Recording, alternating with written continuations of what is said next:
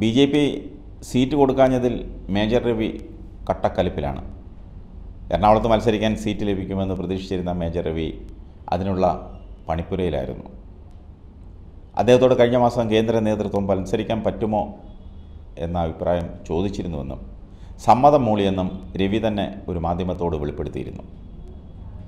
കേന്ദ്ര നേതൃത്വം സ്ഥാനാർത്ഥി പട്ടിക തയ്യാറാക്കിയപ്പോൾ എറണാകുളത്ത് രവിയുടെ പേരുണ്ടായിരുന്നുവെന്നാണ് അദ്ദേഹം തന്നെ ഒരു ചാനലിന് നൽകിയ അഭിമുഖത്തിൽ വെളിപ്പെടുത്തിയത്. അവസാന ലിസ്റ്റിൽ ഒഴിവായതിൽ ആരൊക്കെയോ പിന്നിൽ കളിച്ചുവെന്നാണ് അദ്ദേഹം പറയുന്നത്.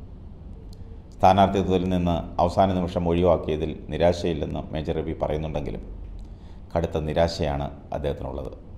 പാർട്ടി തീരുമാനം ചിരിച്ചുകൊണ്ട് അംഗീകരിക്കുന്നു. താൻ എന്താണെന്ന് എറണാകുളത്തെ ജനങ്ങൾക്കറിയാം.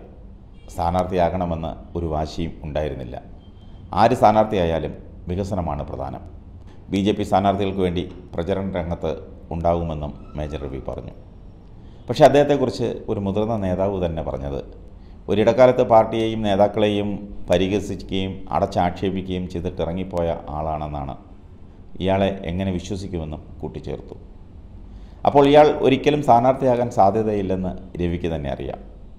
അതുകൊണ്ടാണ് ഒരു മുഴം മുന്നേ എറിഞ്ഞത് രവി അല്ലാതെ വേറെ ആരും സ്വയം സ്ഥാനാർത്ഥിത്വം പ്രഖ്യാപിച്ചിരുന്നില്ല. മാധ്യമങ്ങൾ ഊഹാപോഹങ്ങൾ പറഞ്ഞപ്പോഴും പലരും ഒഴിഞ്ഞു മാറിയതല്ലാതെ സ്ഥാനാർത്ഥിയാകുമെന്ന് ആരും തെളിച്ചു പറഞ്ഞില്ല. രവി വിചാരിച്ചാൽ എറണാകുളത്ത് വലിയ സ്വാധീനമൊന്നും ചെലുത്താൻ സാധിക്കില്ലെന്ന തിരിച്ചറിവാണ് ഇയാളെ നേതൃത്വം ഒഴിവാക്കിയത്. വലിയ ഡയലോഗൊക്കെ കാച്ചുന്ന രവിയുടെ ശത്രു അദ്ദേഹത്തിന്റെ നാവ് തന്നെയാണ്. അദ്ദേഹത്തെ ഒന്നും മേയിച്ചുകൊണ്ട് നടക്കാൻ സംസ്ഥാന അധ്യക്ഷന് സാധിക്കില്ല. ഈ തിരിച്ചറിവും ബി സംസ്ഥാന നേതാക്കൾക്കുണ്ട്.